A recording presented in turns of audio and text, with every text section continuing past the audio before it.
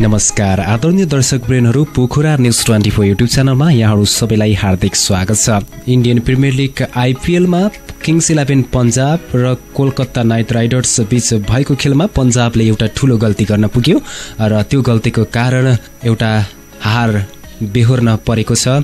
र यसको विषयमा आज मैले तपाईँलाई जानकारी दिँदैछु। पुरा यस भिडियोलाई अन्त्यसम्म हेरेर साथ दिनुहोला। इन्डियन प्रिमियर लिग आइपिएल क्रिकेटको बुधबारको खेलमा किङ्स इलेभेन पन्जाब र कोलकाता नाइट राइडर्स बीच भएको खेलमा कोलकाता नाइट राइडर्स अठाइस रनले विजयी भएको छ। पन्जाबले जितका लागि दुई सय उन्नाइस रनको लक्ष्य पाएको थियो तर उसले बिस ओभरमा चार विकेट गुमाउँदै केवल एक सय नब्बे रन मात्रै बनाउन सक्यो। पन्जाबलाई सुरुमा ठूलो ठूलो झट्का लाग्यो। जब केएल राहुल जम्मा एक रन बनाएर आउट भए त्यसपछि पछिल्लो संस्करणमा उनासी रन बनाएर शानदार पारी खेलेका क्रिस गेलले पनि बिस रन बनाउँदा आन्द्रे रसेलको शिकार बन्न पुगे। क्रिस गेल पछि रसेलले सरफराज खानलाई पनि सस्तैमा समेट्न सफल भए। सरफराज खानले केवल तेह्र रन मात्रै बनाउन सके। यदि मयङ्क अग्रवालले अन्ठाउन्न र डेभिड मिलरले अभिजित उनासाठी रनको पारी नखेलेको भए उसको हालत झनै खराब हुने थियो। आन्द्रे रसलले एक्काइस रन खर्चिएर दुई विकेट समेत लिन सफल भए। कोलकाताका लागि आर फ्याक्टर साबित भए नितिश राणा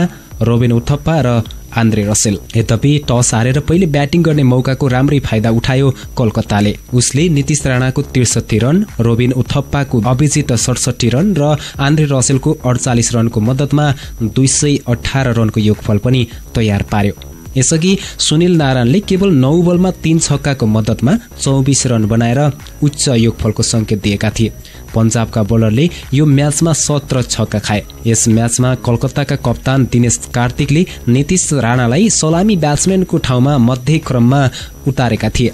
उनको यो रणनीति सही साबित भयो। नीतिश राणाले लगातार दोस्रो म्याचमा साठी भन्दा बढी रन जोडेर कोलकाताको जितमा आफ्नो अहम योगदान दिएका छन्। मिड विकेटमा लामो सट हान्ने नीतिश राणालाई सन् दुई हजार पन्ध्रमा मुम्बई इन्डियन्सले केवल दस लाख भारतीय रुपियाँमा अनुबन्ध गरेको थियो। यद्यपि त्यसबेला उनले आइपिएलको एउटा पनि म्याच खेल्ने अवसर पाएनन्।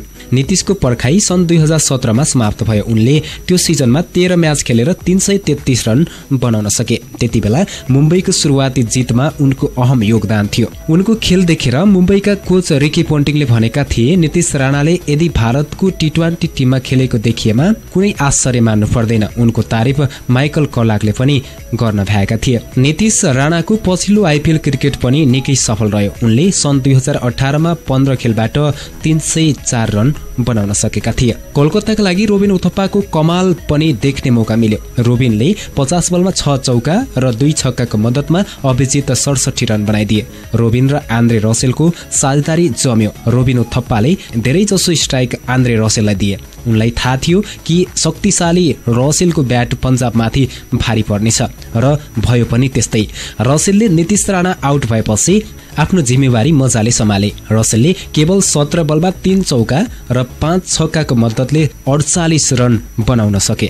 उन्नाइसौँ ओभरमा त उनले हलचल मचाइदिए बलिङमा योर्करमा माहिर मोहम्मद सामी पनि थिए। रसेलले उनको लगातार तीन बलमा तीन छक्का प्रहार पनि गरिदिए। चौथो बलमा चौका गयो। रोबिन उथप्पा र रसेल बीच चौथो विकेटका लागि सडसठी रनको साझेदारी पनि भयो।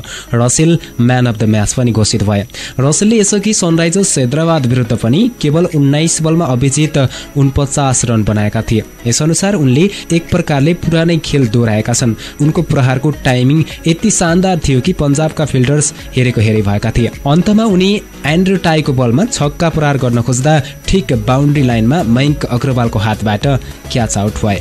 यो खेलमा टर्निङ पोइन्ट त्यति बेला आयो जति बेला मोहम्मद स्वामीको बलमा आन्द्रे रसेल बोल भए। तर बोल नो बल भयो। पन्जाबको केवल तीनजना फिल्डर सर्कलमा थिए जबकि त्यहाँ चारजना हुनु पर्दथ्यो त्यहाँ कप्तानको रूपमा रविचन्द्रन आसिनको सबैभन्दा ठुलो गल्ती भयो। हो यही नै खेलको नतिजा आफ्नो पक्षमा पार्ने मौका पनि पन्जाबले गुमायो। त्यति बेला रसेलले मात्र केवल तीन रन बनाएर खेलिरहेका थिए र सत्रौँ ओभर चलिरहेको थियो। पन्जाबका कप्तान असिलले आफ्नो गल्ती स्वीकार गरे तर खेल हातबाट फुत्किसकेको थियो। अन्तमा कोलकाताले लगातार दोस्रो जित निकाल्न सफल भएको छ। आजको खेलमा भने रोयल च्यालेन्जर्स बेङ्गलोर र मुम्बई इन्डियन्स भिड्दैछन् र रोयल च्यालेन्जर्सको आफ्नो होम ग्राउन्डमा यो म्याच हुँदैछ। बेलुकी सभा आठ बजेबाट। सम्पूर्ण आइपिएलका ताजा अपडेटको लागि कृपया Pokhara news twenty four YouTube च्यानललाई सब्सक्राइब गर्न नभुल्नुहोला।